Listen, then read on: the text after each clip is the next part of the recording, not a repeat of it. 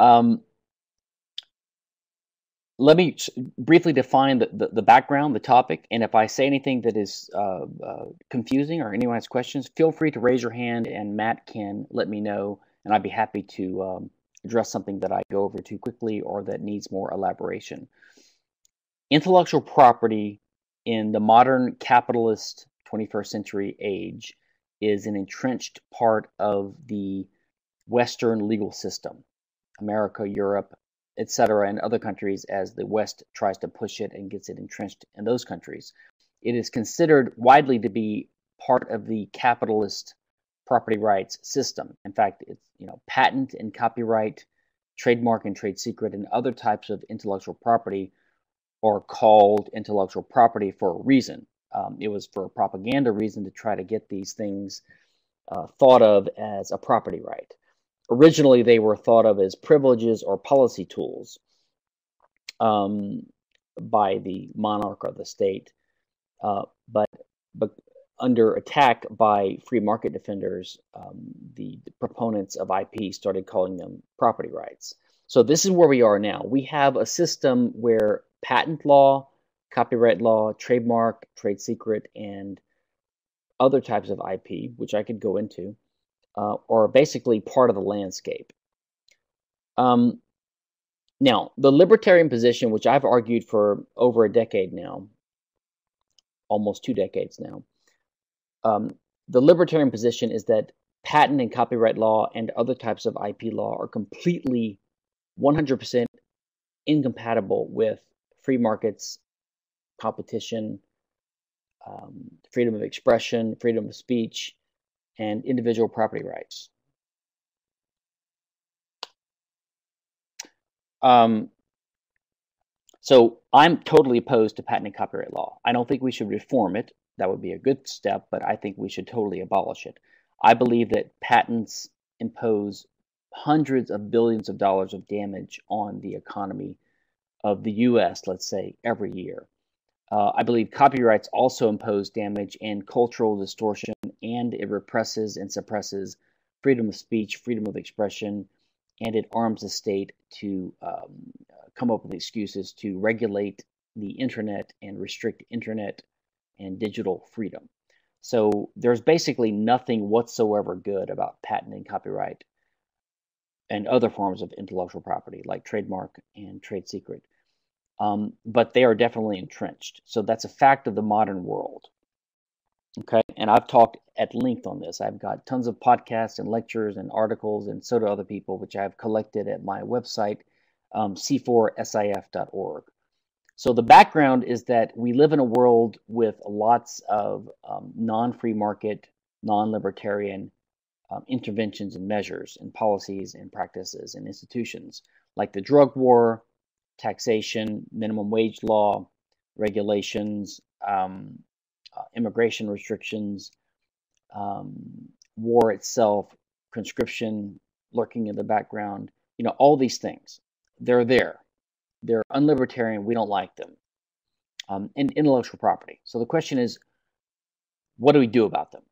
Well, the, the political is, answer is that we should work to abolish them. Okay. But this course is more about practical ways that, as a person living in the real world, what do you do about it? So my um, my way of looking at it is that there's um, there's different approaches. Number one, there's the moral approach. So if your question is, what do I do as a moral person, in particular as a libertarian? How do I act in the world? Um, is it legitimate or moral for me to take part of the given system? Can I drive on public roads? Can I take part in the patent and copyright system, etc.? So that's one type of question. And then there are other practical questions that um, relate to this. Um, for example, if I don't want to use intellectual property, how can I avoid it? Or is it a good idea for me to avoid it or to use it? Okay, so all these issues um, arise. So let me focus really quickly on the two main types of intellectual property, which is patent and copyright. Patent law governs um, inventions. Copyright governs um, creative expressions, artistic works. Okay, these are the two big things. So let's take copyright first. In a way, the question is a little bit moot because the way copyright works is it's automatically granted ever since 1989 in the United States after we acceded to the Berne Convention, uh, which eliminated formalities, which was previously you had to register a copyright and put a copyright notice on a work to get a copyright. Now those requirements are eliminated. So under the current law, ever since 1989, copyright is automatically granted. So every time you write something down, make a painting, write a software program, you instantly have a copyright granted by the federal government, whether you want it or not. And it's almost impossible to get rid of it. Okay. So the first thing to do is to recognize what the landscape is, what the threats are, what your rights are, what your options are. And the same thing is true for patent law. So for copyright, um, the question would be, what should you do? What can you do? Now, one of the approaches I think you can take is um, most of the things that people author, okay, we want the word to get out there, okay, and so if because the copyright automatically attaches to these things, it is a restriction on what others can do with it. So for most people, as Cory Doctorow, for example, says, you know, um, uh, if, if people don't know about your works, obscurity that's going to doom you. You want your works to be spread. So one thing you can do is try to release your works into the commons as much as possible. Um, there's both a moral and a practical reason for this. The moral reason is because copyright is is totally unjustified and illegitimate. Um, so that's the moral reason. The practical reason is that you want people to spread your ideas and your work. And you can do this in today's world by means of using the Creative Commons licenses. Now, the one I recommend that people use is the Creative Commons attribution only. That's CC BY. Um, I would prefer CC0, which is basically making it almost public domain. I'm I'm just concerned that the way the law works, that that is not an effective legally enforceable license, and that means that people that read your works or want to use your works can't rely on the license because they don't trust it, and it's just like it's copyrighted still. So I think the most safe license would be the CC BY, which is what I try to use as much as I can. Um, now, practically, how does that help or hurt you? It helps you because it helps get the, it makes your work easy to copy and spread. And does it really hurt you? I don't think it does. There's lots of ways you could profit from your writing and we have to recognize most people don't write or create for profit. They do it for other reasons. Um, or if they profit, they profit without the benefit of copyright law. So, in the cases where you would profit monetarily, having a CC BY license wouldn't really hurt you um, at all. Um, you get your reputation out there, you get known more, and you uh, so one blog post I have is an example. If you think about uh, J.K. Rowling, Rowling, the author of the Harry Potter novels, who's now the first or second most rich woman in England, she's like a billionaire because of the movies and the merchandising and the novels from the Harry Potter series.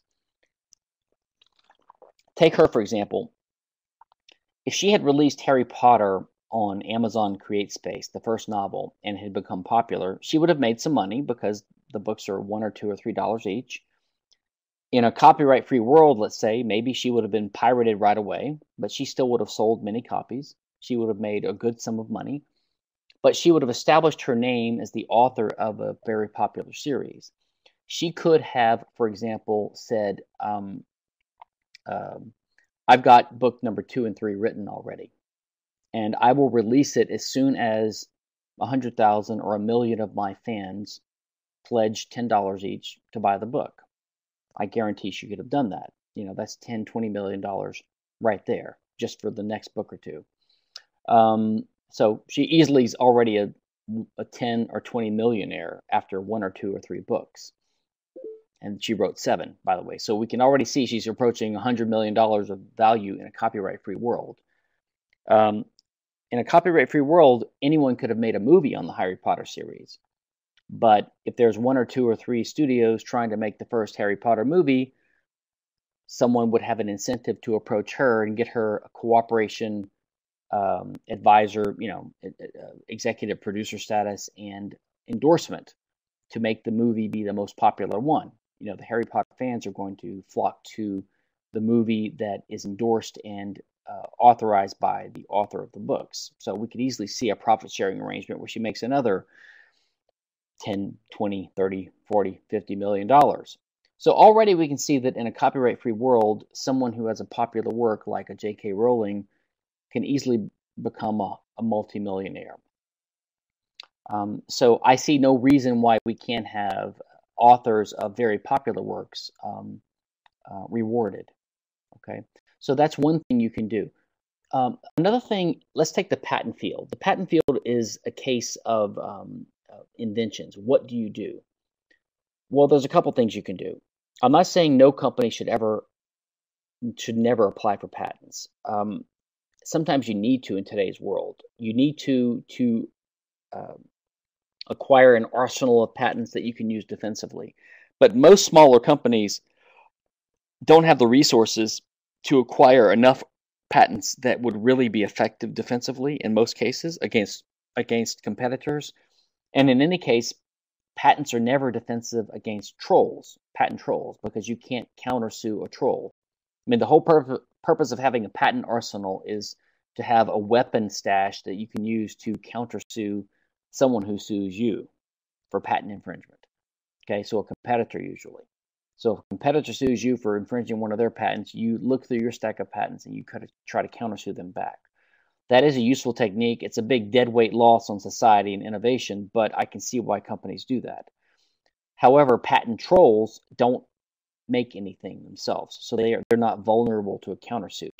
So one of the big threats of patents is patent trolls, and acquiring patents doesn't help you with that.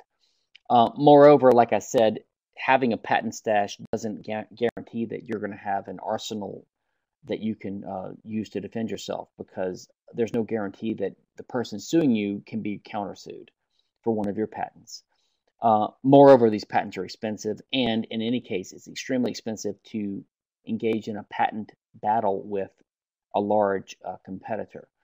And so it's one approach some companies could take is instead of wasting money acquiring patents and uh, uh, uh, acquiring an arsenal of patents that they could never use in the first place and they could never afford to defend because the attorney's fees are so high, just make a decision never to use patents. In fact, you could do what Twitter did and what Google has kind of quasi done you could announce we have an anti-patent policy. Um, Twitter actually tied its own hands by agreeing with all of its engineers that um, they have a kind of a co-ownership right in its patents, so that it cannot assert its patents aggressively, but only defensively. So what you could do is you could make a strategic decision not to ever use patents, not to even waste money acquiring patents, and um, you could announce this to the world. You could save money, and you could avoid getting locked into the trap of chasing a product design or something like that just because you happen to have a patent on it. You could just be free to follow the innovation where it takes you. Now, what about the danger of um, someone else patenting the same design that you've come up with? Well, you could take advantage of the current law, which ever since the 2000, I think 11, uh, the America Invents Act under under Obama, um, if you just simply publish, like on a blog or a website or a journal, if you publish your idea, then it prevents it would it would serve as a prior art defense against someone else patenting the same idea later. So you could just be totally open. You could publish your ideas and say, here's what our ideas are. We plan to pursue some of these. The rest of them we don't. And uh, now these ideas are public and so the world anyone in the world can use them even our competitors but any patent that's filed after this date would be um, challengeable as being invalid so those are some, some of the techniques you can use um, uh, there's there's there's a whole st- strategical mindset to trying to get along in the world without without intellectual property and patents and copyrights. Um, uh, you can talk to lawyers like me, although most patent attorneys and copyright attorneys you talk to are going to be baffled by the idea that you don't want to use these laws to your advantage, that you want to find a way to not use them. Um, but in the software industry, for example, this has been going on for you know 20 years. The uh, the uh, GNU movement, the open software li- uh, open software movement. Um, there's a growing free culture movement, which is similar. Um, there's a growing use of um, Creative Commons licenses among the artistic community. Um, companies like Wik- Wikimedia, you know, um, they provide open source uh, images and things like this people can use. And so, of course, documentary makers and website designers are going to these sources instead. If you design software, you're going to use open source software. Um, so there's an increasing advantage of being part of the growing openness um, movement and advertising. If you're going to do it, advertise it, I would say. You do have to sometimes use intellectual property. Um, sometimes people get confused about what intellectual property means. So, for example, um, um people think that unless you have a patent on an idea, you can't use it. That's not true. The patent is only necessary if you want to prevent other people from using it the the primary advantage of a patent well there are three there are three ways you could use a patent on an invention. Number one is to sue competitors to try to extract royalties or rents from them. If you think that's uh, too expensive or immoral or not your business model that's not really a concern. And i think it by and large should not be a concern. Um, number two you can use it defensively. But as i said it's only a rare situation where you are going to be able to find a patent in your arsenal of patents if you're a small company, let's say, that happens to apply to a competitor's um, products. Um, and it's also a rare situation when you have the funds available to afford the $3 million or whatever it's going to take to pay attorneys to fight back against a patent attacker in the first place. So it's really just a huge waste. Um, for a startup company, let's say, it is true that if you start looking for funding from investors and venture capitalists, they will often ask you what your intellectual property situation is. Their main concern, especially for a small startup company, they don't they're not really betting that you're going to become a patent troll and take your one or two or three or five or ten patents and sue competitors and make a trillion dollars. That's not what they're betting on. They realize that it's too expensive to assert your patents they understand that the primary purpose of patents is defensive, to defend your rights.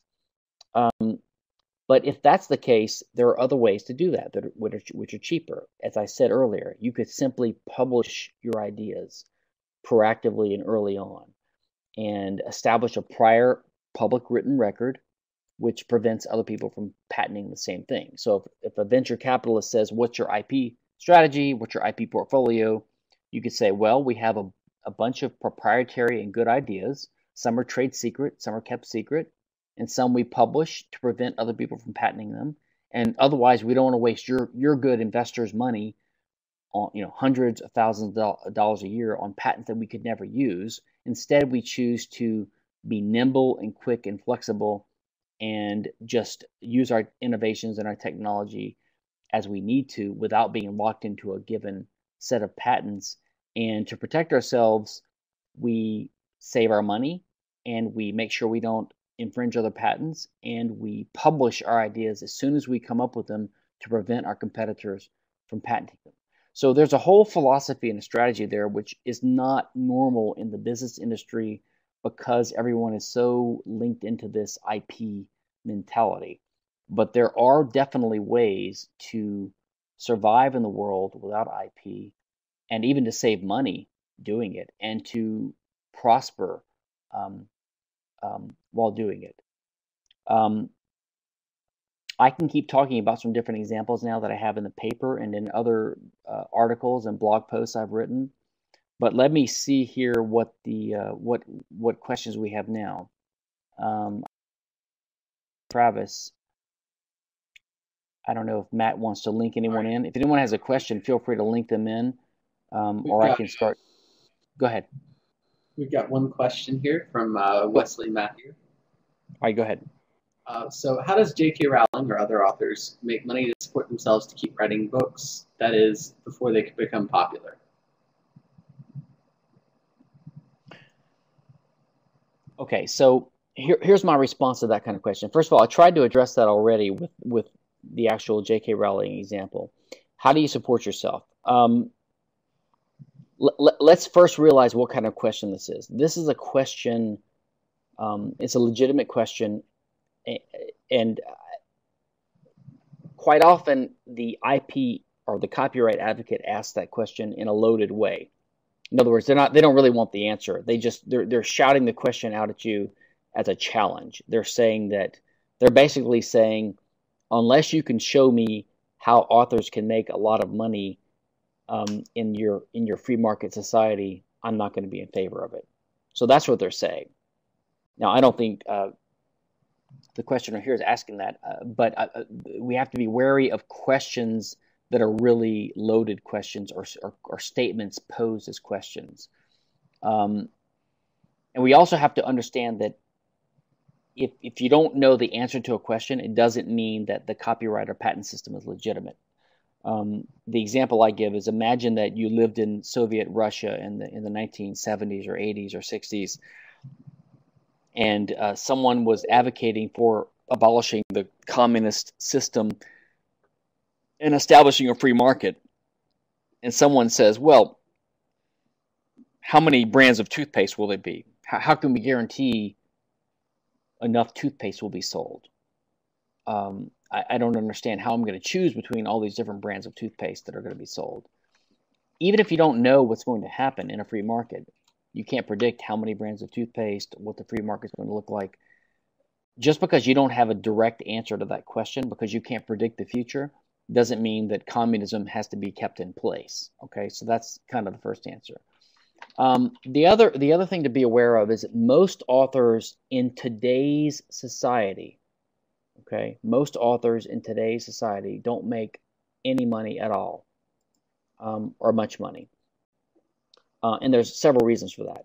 Um, I mean, just imagine the typical blog, or even everyone's uh, participating in Facebook chat sessions and commenting. People do this; they don't do it for money. They do it because they're interested in doing it for some reason.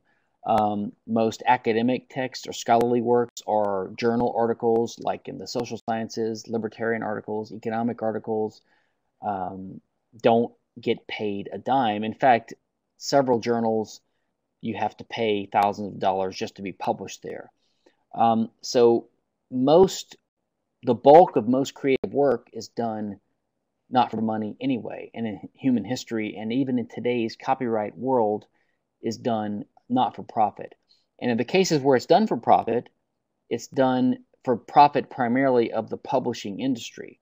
The publishing industry, the publishers, um, Hollywood, etc., they, uh, the recording industry, the studios, they have been propped up. The whole system has arisen because of copyright. The whole publishing um, uh, institution that we have again, most authors don't make very much money, which is why a lot of authors are self-publishing or going to create space on Amazon, things like this now. Most authors, if they make, you know, five, ten, twenty thousand dollars a year off of something, are pretty happy. Because for a lot of people, it's a side hobby or a side pursuit, or something they would pursue anyway. So I think we have to compare today's situation, which has copyright, to a free a free market. And you can't just say there's no way I can think of that most authors wouldn't get paid or would get paid in a free market, and therefore there's something wrong with this idea because most of them are not getting paid now. And in fact, under today's situation, with the state in control of so many things, with so many regulations and taxes, um, uh, people are made worse off because of that alone. So, for example, to take a, a, a silly example, if the government tomorrow reduce the income tax rate by 50%, then most people that are just they have a regular job doing something, making their money, and they they write on the side, well, it's like they're getting a 10, 15, 20,000 dollar a year payment right away, right? so they could use that to subsidize their creative pursuits. Um, so, if we want there to be more creativity, we have to reduce the size and scope of the state. We have to reduce taxes. We have to reduce um, the state's controls, the state's. Um, we also have to reduce the state's copyright system in the first place, which causes some works to be impermissible, remixing, borrowing, derivative works, sequels, unauthorized movies, things like this. Uh, documentaries, which are blocked for years because of the bizarre copyright claims, privacy claims, etc. Um, allowing the state or counting on the state to prop up the creative process is uh, is totally unrealistic and unworkable. So I just want to lay that out there. It doesn't really answer the question directly, but it points out that the there's only two really there's only two real alternatives. That's freedom or the state. Okay, and the state situation just cannot work. Um, the state the state solution ends up causing people to be taxed and regulated, put in jail, um, restricted from using previous works. Um, there's a privacy decision just last week in Europe, which is called the right to be forgotten, where if you have a fact about your previous life or your earlier life, uh, somewhere on the internet, you can go to a court in Europe and they will issue an order to Google to remove the, the link to a search on you so people can't find out um, a certain fact about you in the past. Basically, it's airbrushing history. It's Orwellian. This, you know, this is what totalitarian dictatorships do. They just rewrite the past. Um, so, in the name of all these attempts of the state to step in and be the guardian of people's creative works and their privacy rights, it ends up restricting our freedoms. So, the only real alternative is uh, the free market and freedom. So, how would authors make money? Well, some would some would have a job, a regular job, and they would do this as a side hobby. There's nothing wrong with this. I think Francis Ford Coppola, one of my uh, blog posts on c4sif.org. If you just search for Francis Ford Coppola, you know the the uh, the director, um, he says, you know, what's wrong with getting up at three or four or five in the morning and writing, working on your play for two or three hours, and then going to work during the day in a regular job. Um, so some people would have to support themselves; they would be their own patrons, basically. Um, but as we see in the world today, with the internet, we're having an emerging um, set of institutions and practices that enable. There, there's something called I think it's called Patreon, P A T R A O N A E O N. I may be misspelling it. Patron means patron. Um, uh, there's Indiegogo. There's other things like this, where uh, Kickstarter, where people can find ways to get supported by their fans or by people who support their works. So the ultimate answer is an entrepreneurial one. It's basically how do you find a way to get supported or to support a project that you want to engage in, either for profit or not for profit. It's really an entrepreneurial question, and there's lots of suggestions about this. On my blog, c4sif.org, I have some posts about um, how can innovators get um, make uh, get rewarded without intellectual property. And there's different techniques people use. I've mentioned some of them already tonight. There's uh, Indiegogo campaigns. There's uh, patron support. Um, there is uh, you can do what Louis C.K. did, which he sold one of his. Um, he had a website where he sold one of his comedy performances for five dollars a download, totally open source, DRM free, and he made uh, several million dollars in just a week, uh, way more than he needed to to cover his costs. And then he, you know, gave his staff two hundred thousand dollar bonuses for Christmas and all this. It was great, and so yeah, maybe it petered off after a while, but so what? It's better than you it would be in a in a in a in a copyright controlled society. So the ultimate answer is we don't know exactly how you can make money um, in any endeavor in the free market. Uh, but there's lots of ideas about how you could, and there's lots of uh, reason to believe that there are things you could do absent copyright and patent to make money. And not uh, for, not only that, remember this: there are more ways to make money absent copyright because your, your your restrictions that tie you down are now gone. So lots of companies and producers and creators that are now restricted by copyright um, would be freed. So they would also lose the ability to go around suing people for royalties. That's true, but they would also be free to use whatever they wanted. Um, you know, if you want to have a Michael Jackson hologram at a concert, you can do that. If you want to perform someone's song and do it in a better way, like the Canadian astronaut performing the uh, the David Bowie song, uh, you can do it. Um, I don't know if you guys know what I'm talking about, but just uh, like the last week, um, Dave, David, uh, there was a David Bowie song performed on the space shuttle on the space station by a Canadian astronaut a year ago, and he took the time to get a copyright license from David Bowie's uh, uh, representative, and but he he could only get it for a year, and so he performed some kind of uh, acoustic rendering in space of a David Bowie song, and it was very popular on YouTube. I actually never saw it, but I read about this well, just a couple days ago, it had to come down because the, the one year license expired. So those are just examples of the ways that uh, copyright stifles freedom of expression, freedom of speech, and experimental um, uh, artistic uses, which would flourish absent copyright. It, it, would be more of a challenge to find a way to make a profit, but there would be more ways to make a profit um, as well. All right, so we've got another uh, another question here from uh, Bern McCarty. Regarding the defense where you try to establish prior art by publishing your idea, what minimum level of publishing is recommended?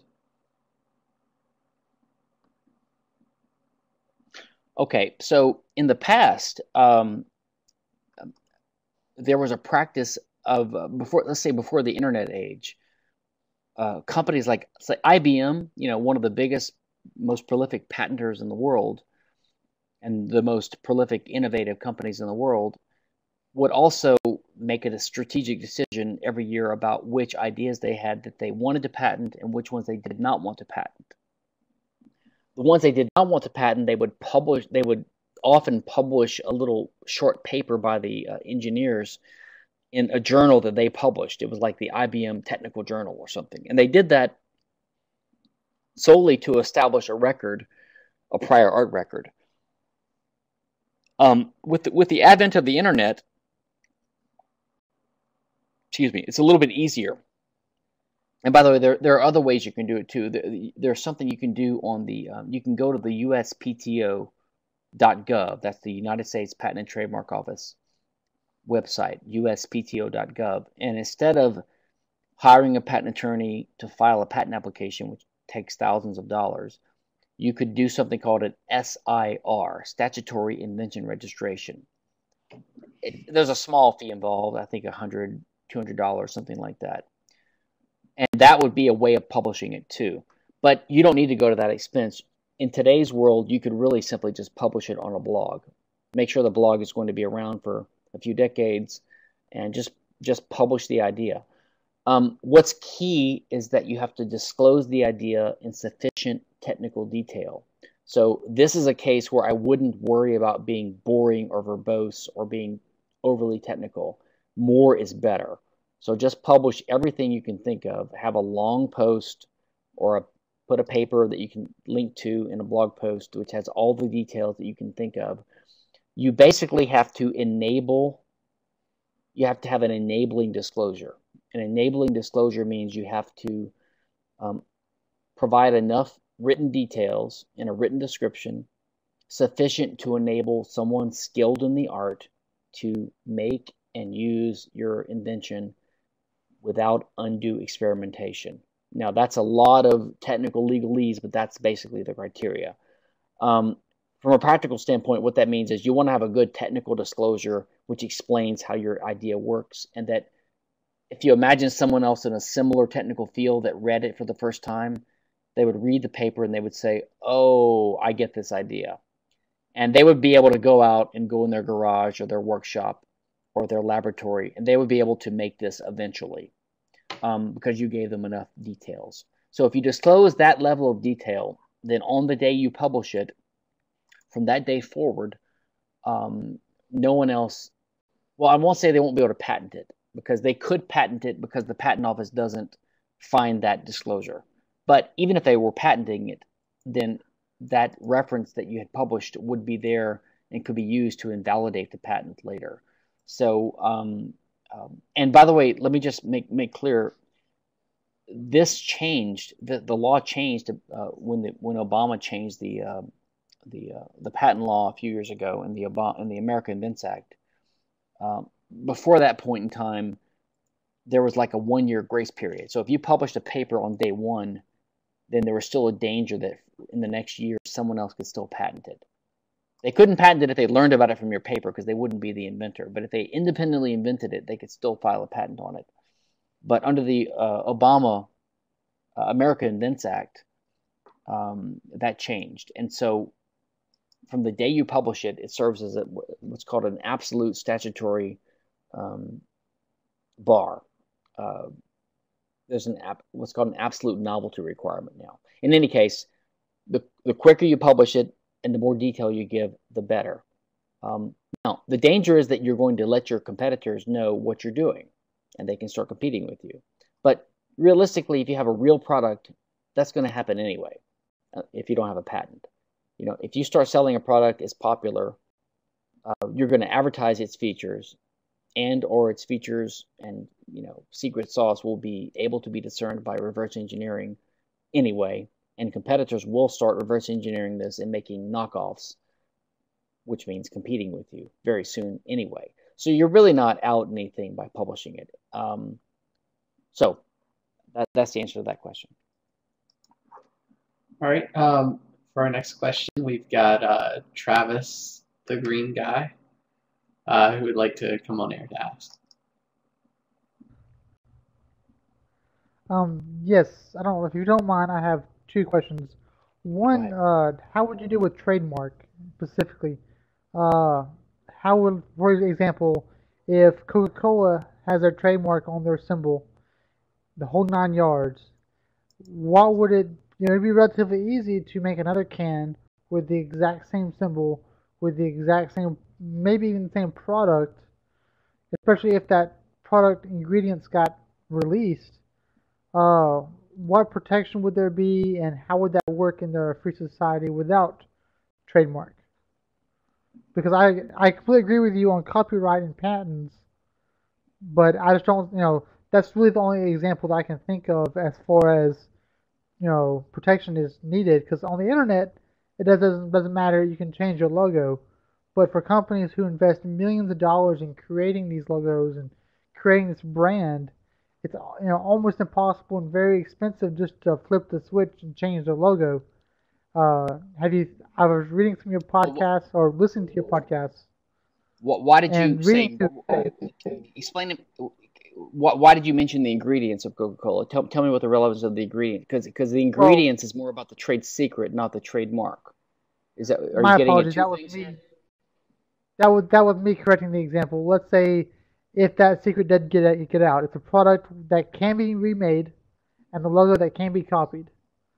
You know, what's to protect them from, especially if it's a physical product, not an internet product. If it's a physical product that can okay. be remade and then the logo can be copied, you know, that's the only thing I can think of that would throw a hole in this. Because I completely agree with you, and I've listened to your podcast and I've read some of your essays on this topic Mm-hmm. And I think you're brilliant. It's just I can't think of a way that the system would protect people in a situation like that where the product can be copied and the logo. How would you differentiate yourself, or how would it be? You know, how would it work? Okay, so um, no, it's a good question. Um, trademark is a confusing issue, especially because libertarians are a little bit uh, sloppy with the fraud concept that they throw out there. So libertarians will often say, you know, we're against the initiation of force um, and fraud, but they never quite explain why fraud is part of aggression or initiation of force or exactly what it means. Um, yeah. And then they'll sometimes use fraud to mean being dishonest, and which would which would imply that anytime you tell a lie that you're basically violating someone's rights, which is not really true, right? Dishonesty is not a good thing, but it's not always a rights violation. So this this fraud concept of the liberty, and, and not only that, um, if they support trademark law because they're against fraud, why do we need trademark law? Because fraud is already allegedly a crime or a, you know a cause of action in a libertarian contract or whatever legal system. So it's not really clear exactly what they mean. Um, so here's what I think would happen.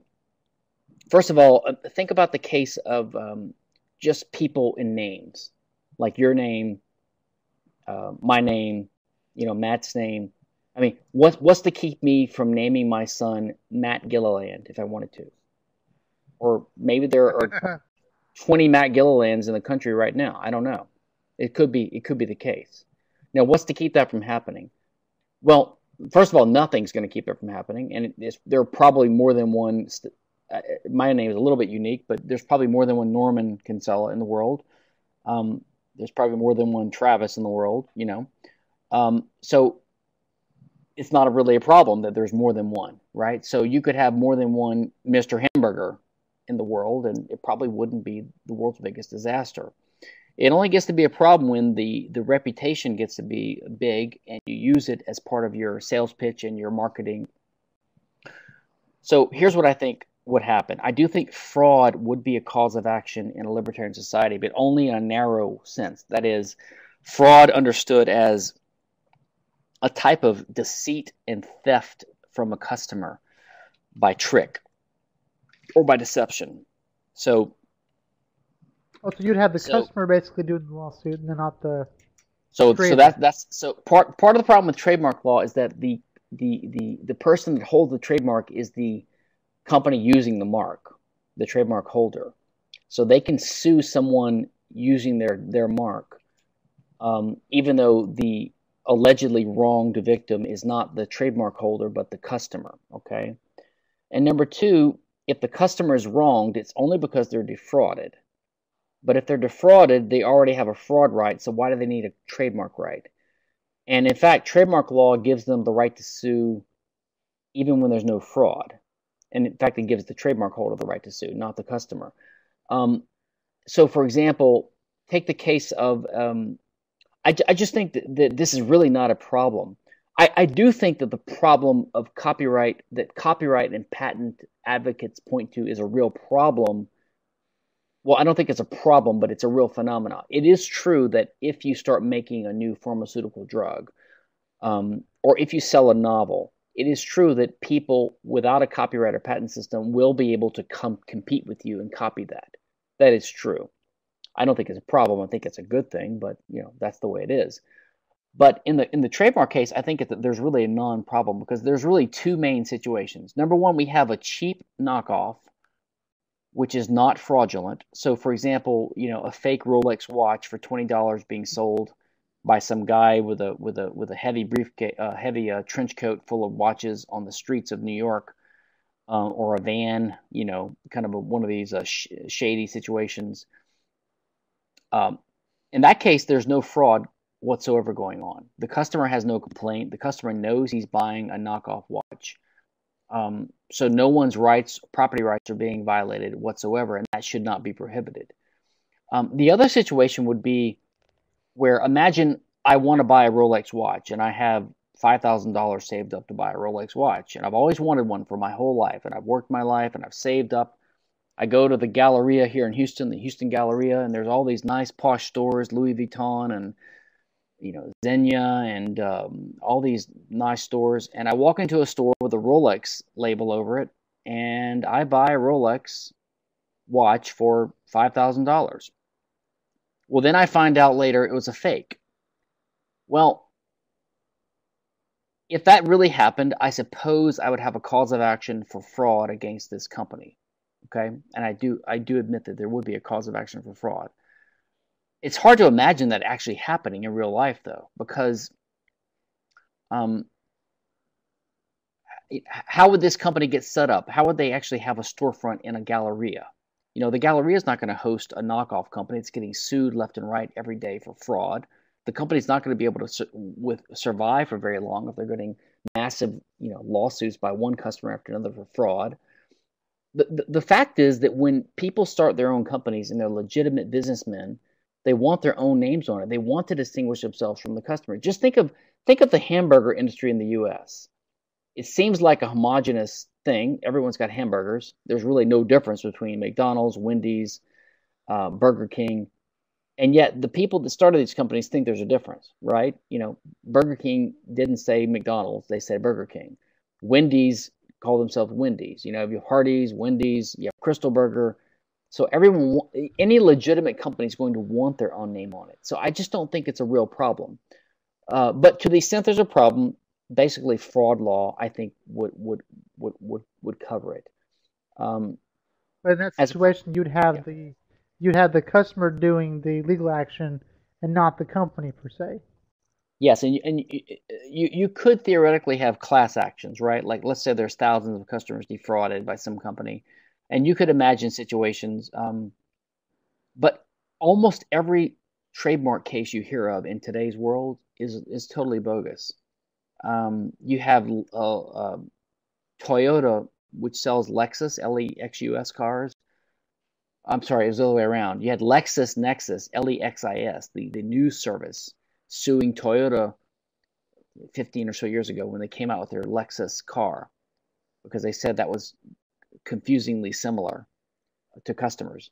Now, who's really going to buy a Lexus automobile and believe that it's being sold to them by LexisNexis News Publishing? I mean, no one.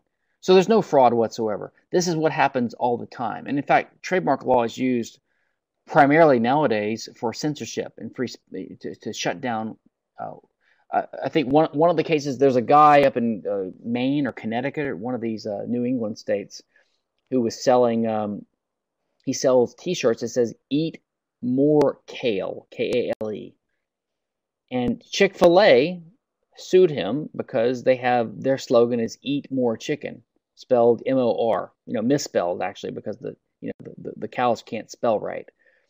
And so this poor individual has been defending himself for a couple of years now with donations because some giant corporation is just trying to run him into the ground for no reason. There's no competitive threat whatsoever. There's no fraud whatsoever.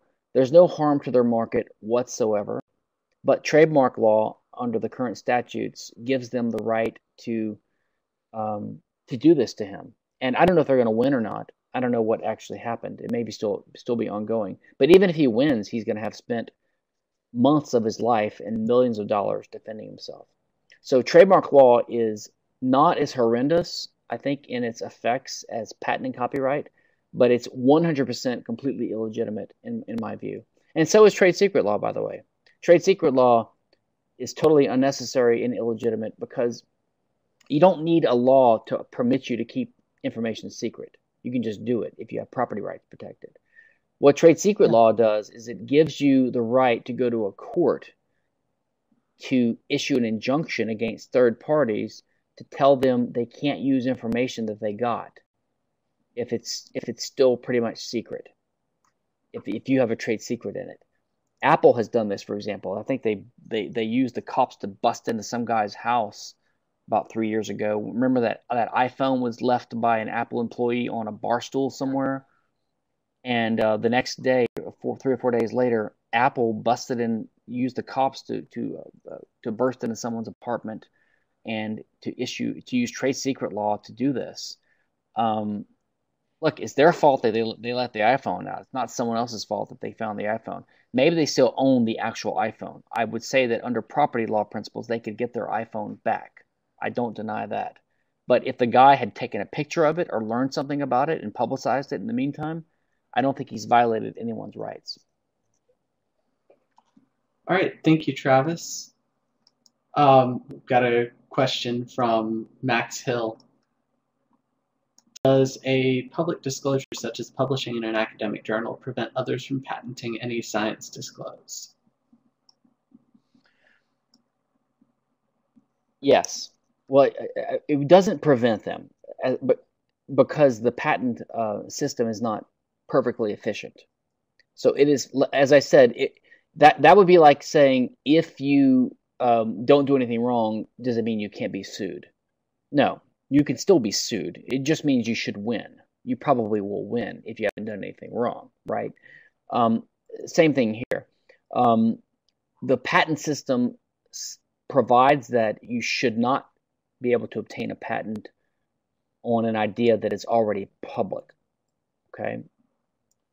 that doesn't mean that the patent office is going to realize that when you when someone applies for a patent. Um, but what it would do is it would give you a defense. So let's say you published your paper on day one, and six months or a year or two years later, someone else independently invents this idea and files a patent on it. And let's say they get a patent because the patent office never sees the uh, your paper that you had published. Well, you don't really care if they have a patent. All you care about is that they assert it against you. And if they threaten you with a patent or if they sue you for patent infringement, then you would have a defense. You could simply say, listen, you have sued me for patent infringement, but I have a paper published before you filed for your patent, which means that your patent is invalid. And I will be able to prove that if you sue me in court. So go away, please. So it would at least give you a defense. Um, moreover, if you publish the patent, if you publish the invention in a paper, um, let's be clear. The only way you're supposed to get a patent is if you are the inventor of the patent, of the invention. Um, so unless the person who filed the patent independently invented it, they're still not entitled to a patent. So there's two barriers. So if someone learns of the idea from you, they are not the inventor. You are.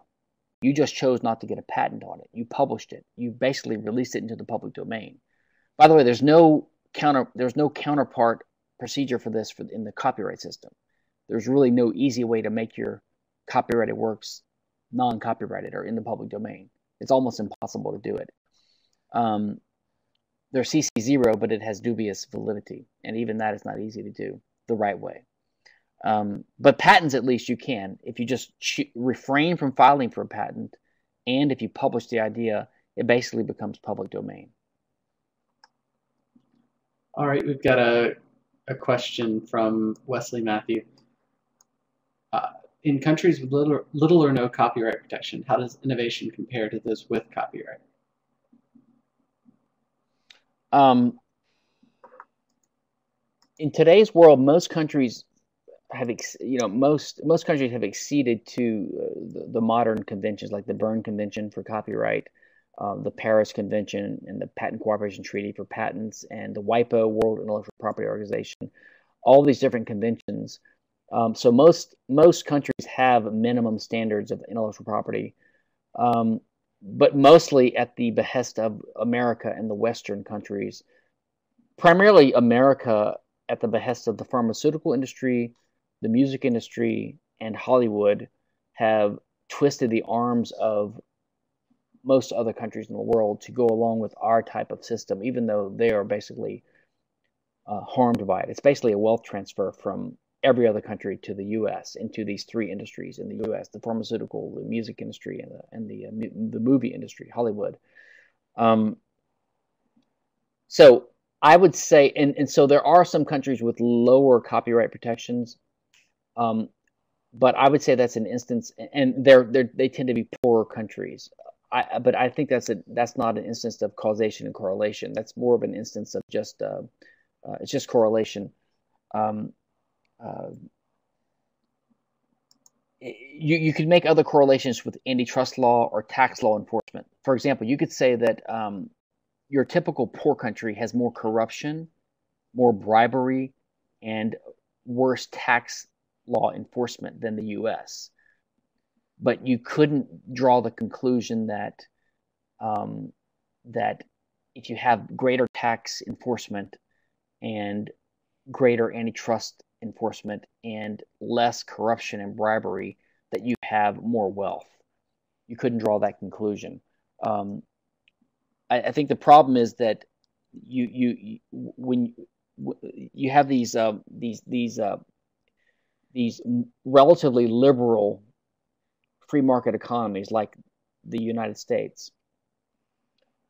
And they become rich because they have relatively free market internal policies, right? We have a, very large free market here, pretty much an unregulated free market capitalist property rights system.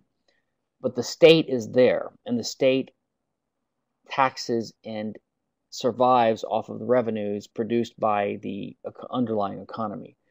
So you have these states which become powerful and rich because they are parasitically um, taking money off of the underlying economy. And they also tend to expand their own power and authority. They start exerting minimum wage laws, affirmative action laws, anti discrimination laws. They start becoming more bellicose internationally. That's become more imperialistic, more warlike.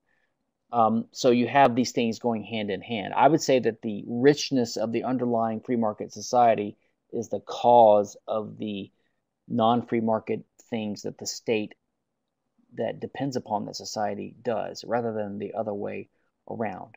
Now, if you want to take some actual examples, there have been examples in the past, uh, some some uh, historical episodes. I think in the 1800s, for about 50 years, let's say Germany had almost no or very lax copyright laws.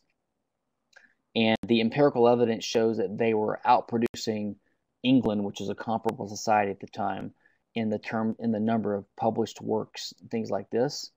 Um, in Italy and Switzerland, I think for a good 50 or 100 years, had no patents on pharmaceuticals, and yet they were two of the uh, the largest uh, producers of pharmaceuticals at that time. So there are episodes in history where we can point to where there's been a a lack of or much more reduced form of patent or copyright, and which we can see that there was still um, a huge amount of um, innovation and research and development and artistic creativity being done anyway. And I've got some some surveys and some studies on my uh, c4sif.org uh, website to, to that effect. All right, we've got a question from uh,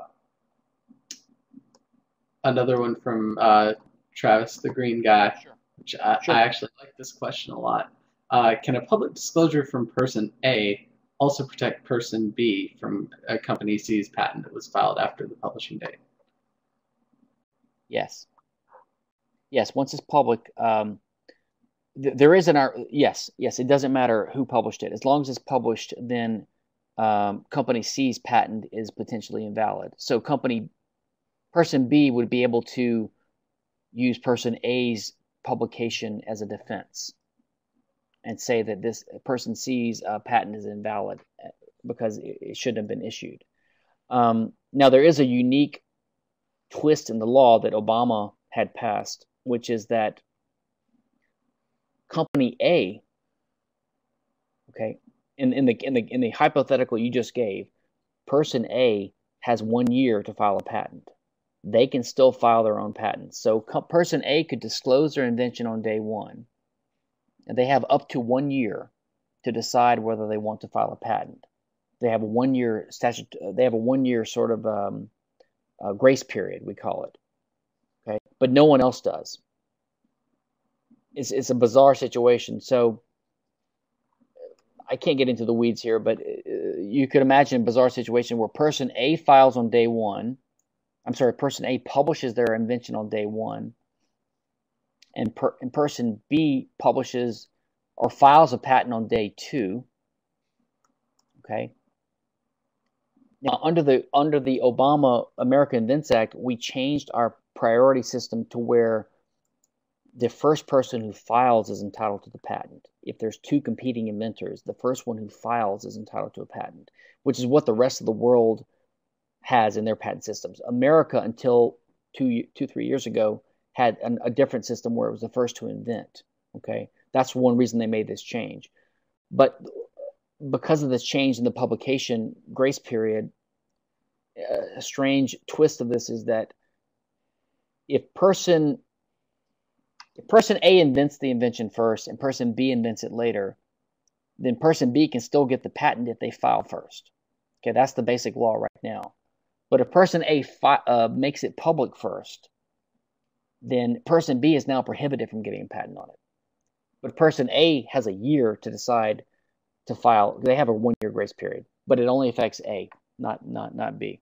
So the only example, the only exception to the answer to the question is that um, B is protected by A's publication from C's patent, but B wouldn't be protected from A's patent. All right, I've actually got a question. Um, you said uh, you suggested using uh, Creative Commons by attribution license. Um, Yes. Now, why would you suggest that instead of uh, Creative Commons by attribution share and share alike, which for the audience means that they have to both attribute the work and they have to release everything they create under the same kind of license, which prevents them from using copyright against others using works Um, that are based on yours.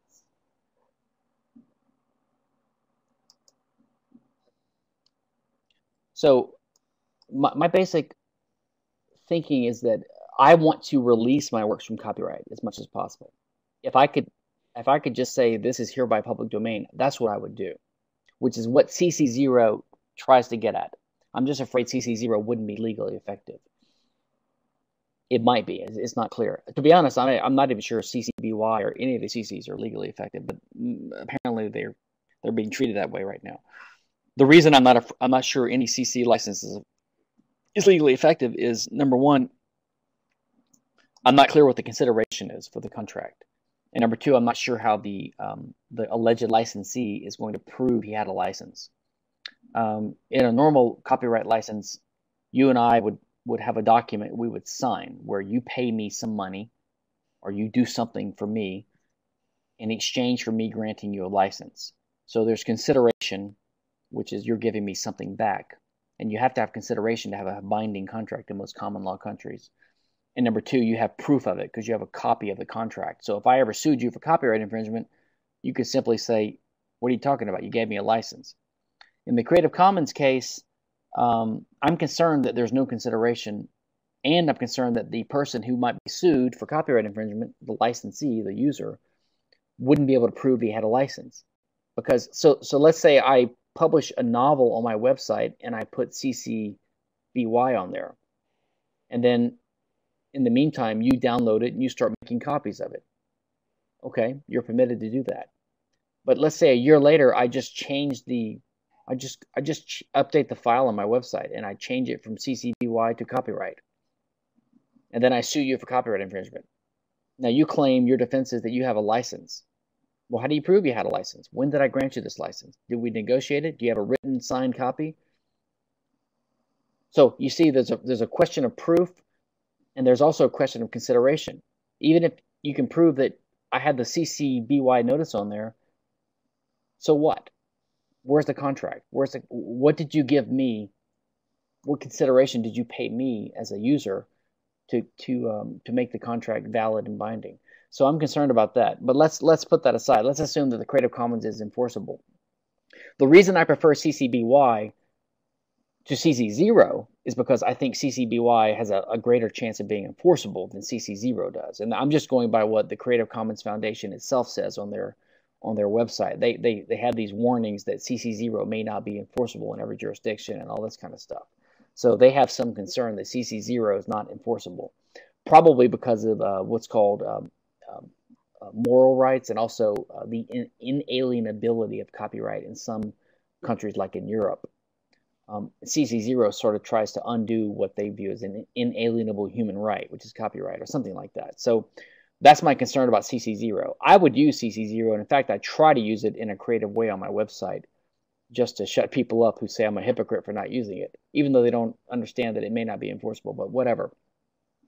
So I use CCBY because all it requires is attribution, and I figure that's a restriction that almost no one minds anyway, because if you copy someone's work, you, you pretty much want to say who wrote it because otherwise no one's going to want to take the copy you made because they don't have the full copy because the copy includes the author's name. Now the other ones like share alike and also ND, which is not no derivative works, and NC non-commercial use. I don't like those at all. I certainly don't like non-commercial and non-derivative because it's an attempt to use copyright law to prevent people from using your work as you as they want to use it. Um, if you're going to use not NC or ND, no creative works. I'm sorry, sorry, no no commercial use or no derivative works you might as well just have a copyright notice and prevent people from using your work. I don't really see why you would use CC uh, at all in that case. In fact, I think they're vague. I don't really know what a non commercial use really means because if I have a quote unquote not for profit blog or a hobby blog like I do, but I have Google advertising in the corner of my website, and I copy someone's CC NC, you know, work. Am I using it commercially because it's helping draw traffic to my website and I'm making some Google AdSense revenue? I don't know, maybe. But the point is, that's not a good license because it's a it's restrictive. So I do understand the share alike license. The share alike license is the one that some libertarians and others prefer to use instead of BY, which is attribution only. It's more similar to what's used in the copy in the in the software case of the um, the open source type licenses, which is um, I forgot is it the GNU or something like that, where you have to um, yeah the GNU uh, GPL GPL. So you, so if if you use someone's source code, the the the only condition is you have to release your source code that borrows from it under a similar license. Um, I can understand that idea. I think it makes I don't like it even in software to be honest. I prefer to just open things up and let people do what they want with them. One reason people do that is they have a, a mistaken understanding of what copyright is. They say, well, if I don't copyright my works, then someone else is going to run around and copyright it. Well, first of all, you don't copyright anything. As I said, it's automatic. So that's a mistaken understanding of how copyright works. So I don't think that, that's a good reason to do it. Um, I just don't like CC uh, share alike because. Let me give you one example. If I have an like the journal Libertarian Papers, which I created and which I'm the executive editor of, we have a, a CC BY policy if we had a CC share alike policy, then, well, under our current policy, any any publisher that wants to use one of our articles in one of their books, like let's say there's an anthology of articles on a certain topic and they want to take one or two libertarian papers articles, they can do that without asking our permission.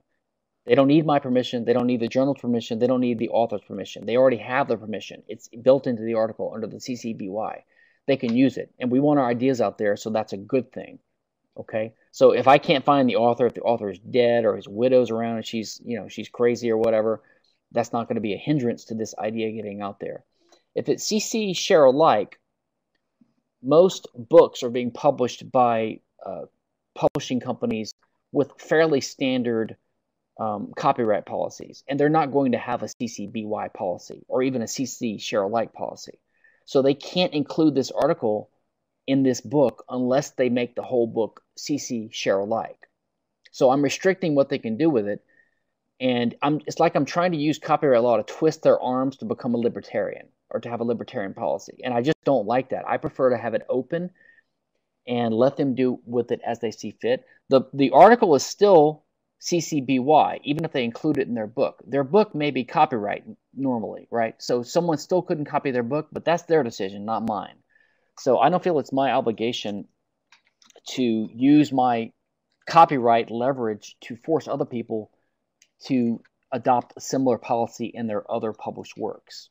So that, that's my reasoning. I respect other libertarians who prefer to use the CC share alike um, as more of an activist tool, but I think they're hurting themselves because, as I said, you basically are preventing your work from being used in any other kind of uh, journal or or, or, or omnibus volume or collected anthology because they just the CC share alike copyright provision is tantamount to a copyright provision, which means they can't use it without getting the permission of the author. And the whole purpose of the CC BY is so that people can use it without having to come to you for permission. So that's sort of my thinking on that issue. All right, one last question before we call it a night. I know there are a ton more questions. That just means that uh, Stephan's going to have to come back sometime. Uh, yeah, I'll be happy Bob, to come back. And people can email me too, by the way, so that that's fine. So go ahead. From County, uh, could blockchain technology be adapted to record patents as it authenticates Bitcoin transactions?